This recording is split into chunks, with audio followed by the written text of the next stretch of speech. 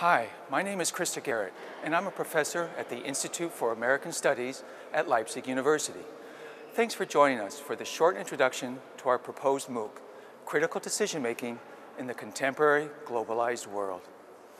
As an American who has lived and worked in various parts of the world during the past 20 years, I've learned how important critical decision making is for successful international careers. American Studies encourages such leadership skills, learning, and skill development by constantly engaging critical and reflexive thinking. It does so by exploring such categories as race, gender, sexuality, class, and age. Our contemporary globalized world shows us just how important such open, critical decision making is for successful international careers.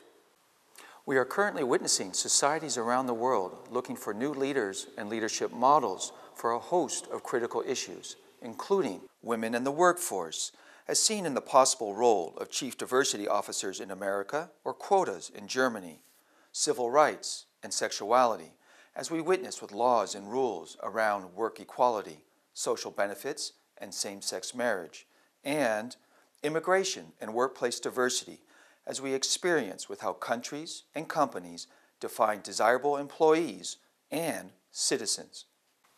Our MOOC will open with a unit on critical decision making and then engage the three clusters just mentioned involving gender, sexuality, and immigration. Important for our MOOC will be what we call global case study building. This will involve participants building around our three clusters case studies that integrate their own local context.